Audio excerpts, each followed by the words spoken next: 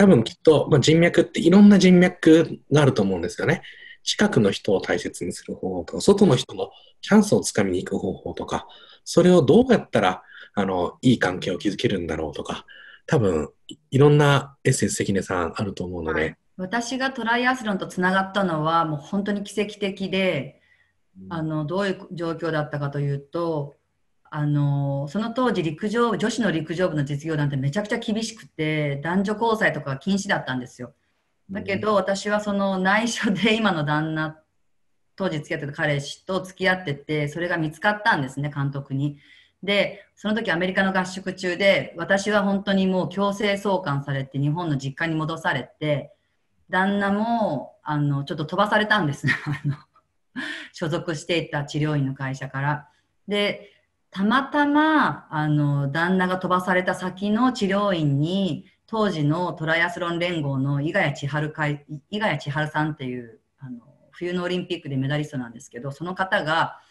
あの、来られたんですね。で、主人がその、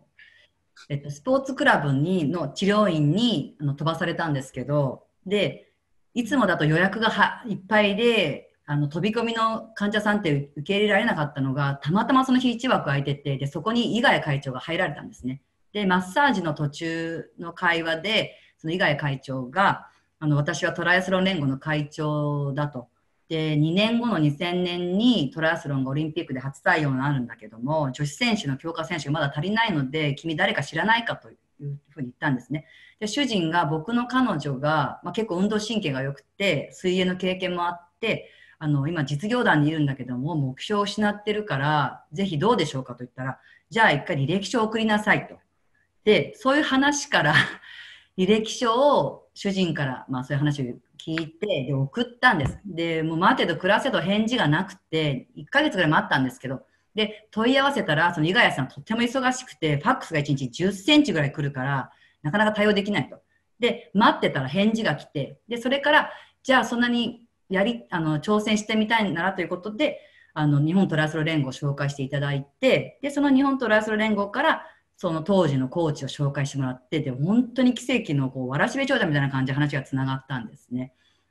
で、それを振り返って、今どうしてそういうふうになったかなって思うんですけども、やっぱりその時私の陸上選手としての悩みが、もうとにかく本番に弱くて、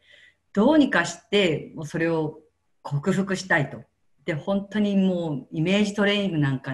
やったいろんなことやったんですけどダメで。で変わりたい変わりたいと思ってる時にそういう話が来ましたね。